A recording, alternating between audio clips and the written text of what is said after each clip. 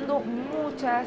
cosas por tratar de entender al talento, pero algo muy importante que están tratando de hacer es entender la cultura de ese talento, entender eh, cómo son para poder trabajar hacia la cultura deseada que quiere esa organización. Cuando digo cultura es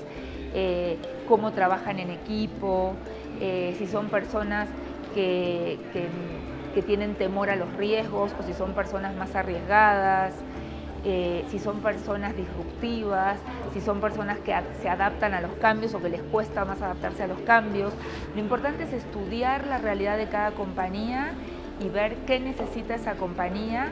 para eh, la gestión apropiada del talento. Pero lo que nosotros decimos es que si no contamos con una gestión apropiada del talento humano, no hay progreso en la compañía, porque es el talento humano el que lleva a la compañía adelante.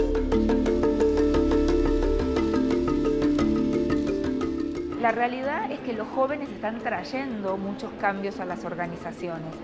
y hoy por hoy son una parte muy importante de la fuerza laboral, son más del 75%. Entonces sí hay que escuchar esos jóvenes, sí hay que escuchar esos pedidos o esas demandas de este grupo joven, porque en definitiva es el grupo mayoritario hoy en las organizaciones. En lo personal yo creo que todas estas cosas que nos traen los jóvenes también nos contagian a los que no somos tan jóvenes, con lo cual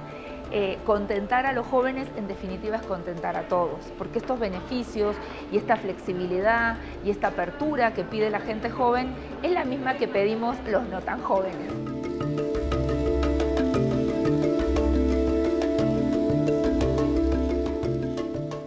Organizaciones que se ocupan de su talento son prácticamente 85% más eficientes que las que no se ocupan de su talento y por lo tanto aprender es, es